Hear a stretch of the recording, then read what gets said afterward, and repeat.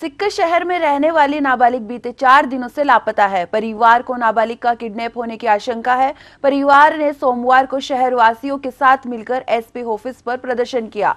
परिवार और शहरवासियों ने दो दिन में कार्यवाही नहीं होने पर धरने की चेतावनी भी दी है। भाजपा युवा नेता रतनलाल सैनी ने बताया कि राधाकिशनपुरा इलाके से 17 अगस्त से नाबालिग लापता है। जिस तरह से राजस्थान में महिला अत्याचार की घटनाएँ बढ़ रही है, ऐसे में परिवार को आशंका है कि उसका किडनैप भी हो सकता है। नाबालिग को दस्तयाब करने की मांग को लेकर आज प्रदर्शन किया गया है। पुलिस का कहना है कि तीन चार टीमें सर्च में लगी हुई है, लेकिन यदि दो दिन में कोई कार्यवाही नहीं होती है तो हमें अनिश्चितकालीन धरना शुरू करना होगा। मन तो जाए मेरे स्कूल।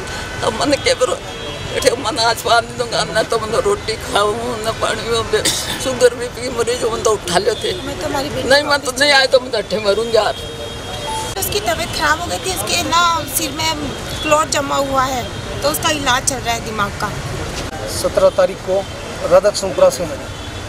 हमारी बहन मान लो बेटी मान लो नास में छोटी बच्ची सत्रह तारीख को साढ़े नौ दस बजे से गायब है।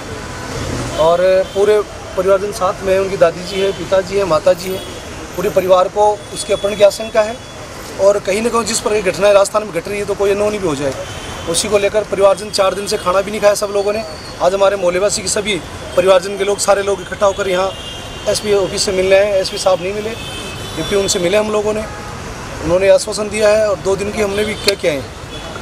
दो दिन की हम क्या क्या हैं उनको चेतावनी के लिए कि दो दिन में यदि बरामद नहीं होती है तो उन्होंने कहा, हमें चार पाँच टीमें निकाली है यदि दो दिन में बरामदी नहीं होती है तो हम बड़ी संख्या में आएँगे और यहाँ से तब तक नहीं उठ के जाएँगे। कलेक्टर के सामने जब तक हमारी बच्ची, हमारी बहन बरामद नहीं होगी, उसका परिवार पूरा गमजदा है और सारे परिवार साथ, हम सब लोग इनके साथ खड़े हैं और हम, आप मीडिया की द्वारा भी मांग करते हैं, प्रशासन द्वारा मांग करते हैं, तुरंत इस और ध्यान देवे क्योंकि छोटी बच्ची है उसके साथ कोई भी घटना कर सकती है। इसलिए तुरंत इस पर ध्यान देवे और बच्ची को तुरंत बरामद करे परिवारजन को सौंपे। उसी को लेकर हम उन परिवारजन के साथ आए। आपको किसी पर आशंका है? पूरा परिवारजन को आशंका है। जो कॉल में से जो भी हमें इनपुट आउटपुट मिला है हमने पुलिस को दिया है। और हमें पूरी अपने की आशंका है कि बच्ची का अपहरण हुआ है उसको उठा के ले गए हैं। बालिक नाबालिग नाबालिग बच्ची है छोटी बच्ची है नासमझ बच्ची है। और बीमार भी बच्ची चल रही है लेकिन उनके साथ ये घटना घटी है और पूरे परिवार को आशंका हमने जो भी क्लू है उनको दिए हैं उनके परिवार हमारे साथ में हम ऊपर पुलिस अधिकारी से मिलकर ढाका